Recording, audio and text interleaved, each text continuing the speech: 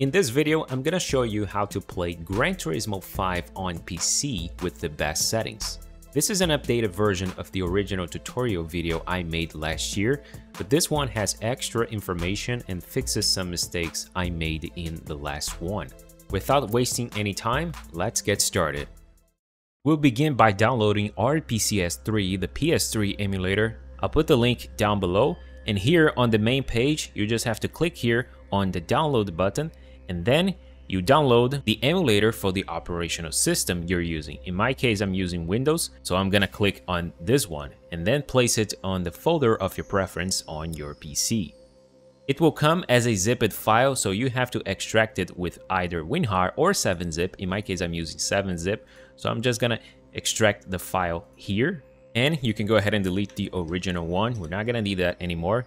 And to begin, you just have to double click here on rpcs3.exe to start the installation. And here there's a few options if you want to create a desktop shortcut and stuff. I would not recommend using the dark theme yet, so I'm gonna turn this off.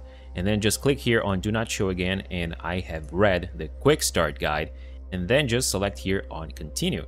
And there you go, we have RPCS3 on our computer. First, we have to install the PS3 firmware on the emulator and we can get that on the official Sony website. This is the place right here, the link will be down below and on this page you want to scroll down here to the bottom a little bit and where it says how to update PS3 system software, you want to click here on update using a computer and then you just click on download PS3 update and place the file on the same emulator folder. If for some reason the download doesn't start when you click on it, then you have to click on it with the right button on your mouse and then select copy link address and then paste the link on your browser and press enter. Then the download will start. Now back on the emulator folder, I already downloaded my firmware here. It is this file, the PS3 update. Now you want to go to the emulator and right here click on file and click on install firmware. It should open the emulator folder by default, so now you just have to double click here on the PS3 update and it will install the firmware on RPCS3. Click here and do not show again and then click OK. And now it will install these PPU modules, but this shouldn't take long. And while you wait for it to finish, this will be a good time to subscribe to the channel and also leave a like on this video. I would really appreciate it. Now back on the emulator folder, you're gonna see that there's this folder here called games that was already created when you installed the emulator. And this is where you're gonna be placing the game.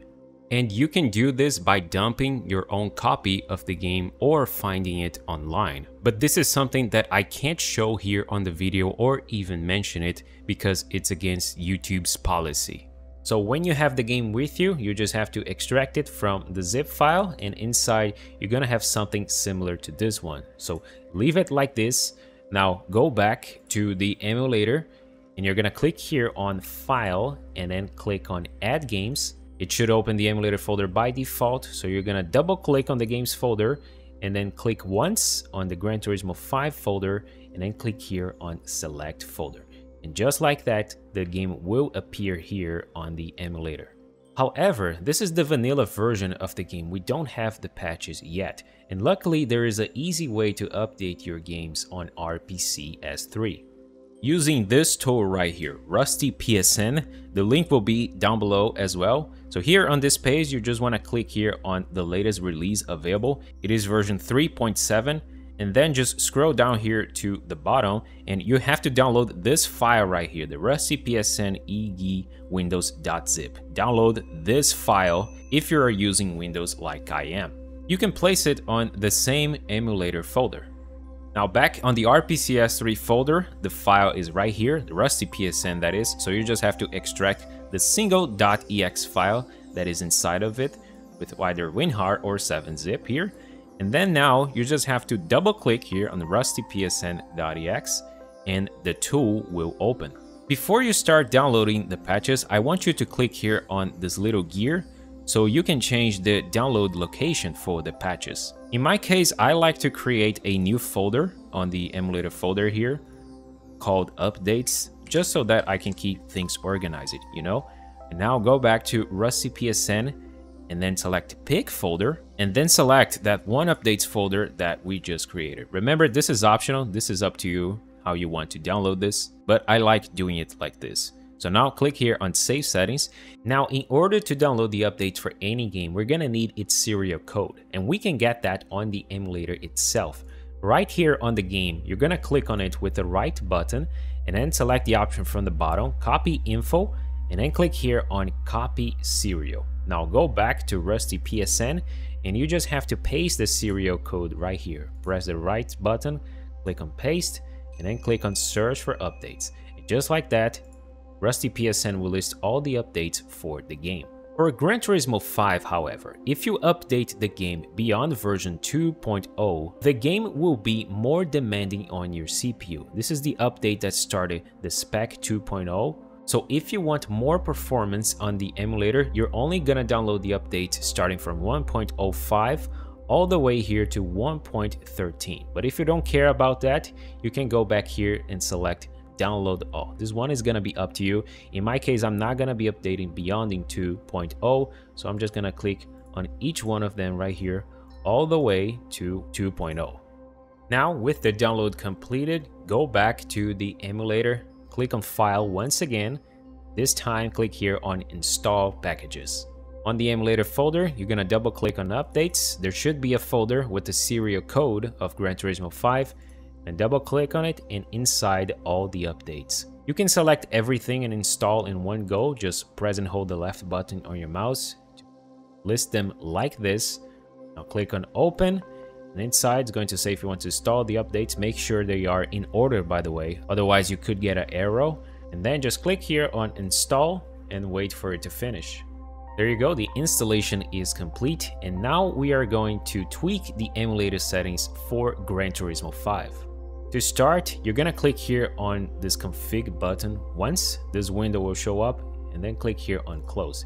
This is to enable the settings file that we're gonna edit right now. So Close the emulator, go to the emulator root folder here, and there's gonna be this folder here called gconfig. So you're gonna double click on it, and inside there should be this file right here, currentsettings.ini. You can open this file with the default notepad from Windows or your favorite notepad editor if you feel like it. In my case, I'm gonna use the default one. So click on it with the right button, and then you're gonna select here, open with, and then you're going to select the notepad from Windows. If it doesn't show up, you're going to click here on choose another app and then select the notepad. I'm going to go ahead and open this one. And inside this file, you're going to look for this section here that says Meta. And there should be this option here on your side that says show debug tab equals false. So you're going to click on it and erase the false from it and replace it with true. That way we have unlocked a extra setting back there on the emulator that we're gonna need for Gran Turismo 5. So don't forget to save by the way, click here on file and then save or you can press Ctrl S on your keyboard. Make sure that it's saved. You can close this, go back to the emulator like this and now you're gonna click on the game with the right button and then click here on create custom configuration.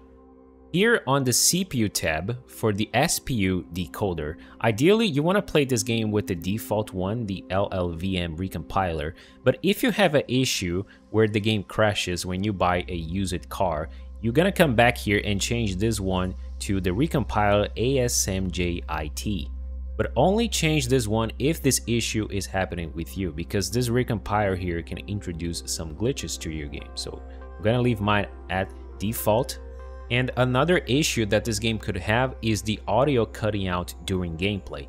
If that's happening and it's bothering you, you can fix that by changing the SPU XFloat accuracy to accurate, but only change this one if this issue is really bothering you, because setting this to accurate will affect the performance of your game. So in my case, I'll leave mine at approximate and hope that doesn't happen. Finally, on SPU block size, you're gonna change this one from safe to mega. Now head over to the GPU tab and on render, make sure that Vulkan is selected here. But if your GPU is outdated, you're only gonna have OpenGL available in which the performance will be much worse. You're gonna have a lot of starters on OpenGL. so make sure that Vulkan is selected if that's your case. You can change the anisotropic filter from auto to 16x. This will make the game look better and has minimal impact on performance. And here on the resolution scale, do not change from 100% because this can make the game crash. So keep this one at 100% and also do not change the default resolution as well. Now head over to the advanced tab and here you're gonna enable the accurate RSX reservation access and you're gonna change the RSX FIFO accuracy from fast to atomic. Finally, you're gonna go to the debug tab right here and you're gonna click on disable ZCull occlusion queries.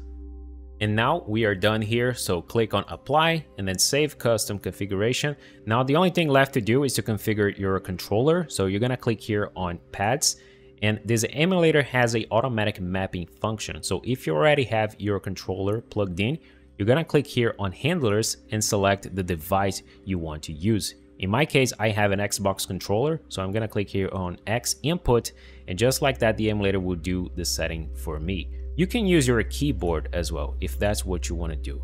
When you're done, go ahead and click here on save and we can now start the game. So double click on the game. When you start it for the first time, it's going to ask if you want to install this package. Click on no. I'm not sure why the emulator is asking that. We already have that update, install it.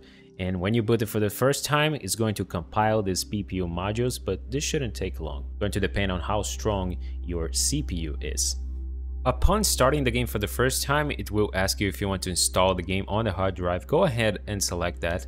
Not only it's going to speed up the loading times, but it will also make the textures look better as well. I have many videos like this on the channel covering how to install and play games on PC, focusing on the best graphics and performance. So if you like what you saw, don't forget to subscribe, hit the like button and check out my other stuff.